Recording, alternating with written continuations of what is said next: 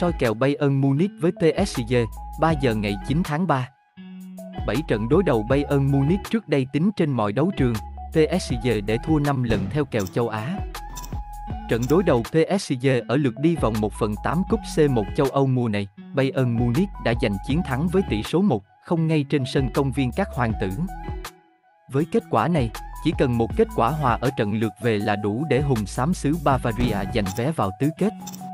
Thế nhưng ngay thời điểm đầu tiên lên sàn giao dịch, nhà cái đã để Bayern Munich chấp 1-2 theo handicap. Cán cân thị trường cũng sớm cho thấy xu hướng nghiêng về phía chủ nhà. Điểm ăn lựa chọn Bayern Munich biến động theo hướng giảm.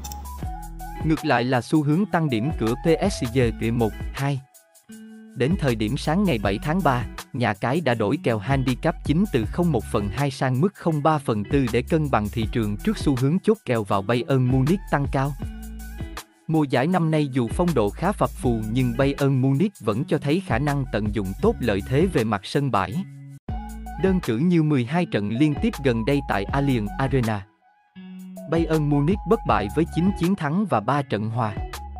Trong khi đó bên kia chiến tuyến, PSG lại thi đấu không tốt trên sân khách. 7 trận xa nhà vừa qua ở các giải đấu chính thức. Nhà đương kim vô địch Ligue 1 bị đánh bại tới 4 lần. Tính riêng theo kèo châu Á, PSG chỉ thắng được 2 trong tổng số 14 trận xa nhà trước đó ở mọi đấu trường. Còn lại là 9 thất bại và 3 kết quả hòa. 7 trận đối đầu Bayern Munich trước đây tính trên mọi đấu trường, PSG để thua 5 lần theo kèo châu Á. Trong bối cảnh Neymar không thể thi đấu vì chấn thương, nhiệm vụ ghi bàn vào lưới Bayern Munich càng trở nên nặng nề với Messi và Mbappe.